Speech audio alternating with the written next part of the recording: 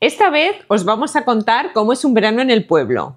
En este caso, en un pueblo de Aliste, claro. Las actividades que hacemos, dónde salimos a comer, las tradiciones típicas. ¿Hacéis lo mismo en vuestro pueblo? Escribirnos en comentarios los parecidos y diferencias. Estaremos encantados de leeros. Efectivamente.